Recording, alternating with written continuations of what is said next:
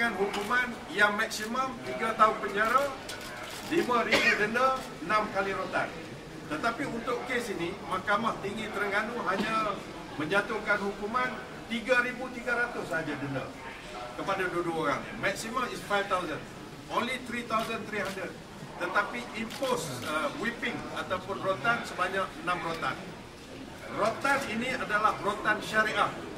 Jadi kami amat tidak bersetuju uh, pandangan daripada pengurusi suaka yang mengatakan bahawa tindakan uh, sebatan syariah ini suatu yang merupakan torture, cruel, inhuman, degrading punishment under international law. Ini adalah suatu tindakan, satu statement yang bercanggah dengan undang-undang yang ada dan juga is a contempt of court, satu tindakan menghina mahkamah. Jadi kami ingin menggesa supaya pengurusi suaka teliti balik kenyataan beliau. Ha, kalau tidak, mungkin kita akan buat satu aduan kepada mahkamah bahawa dia telah menghina mahkamah. Ha, mahkamah syariah adalah mahkamah yang valid under uh, country's law.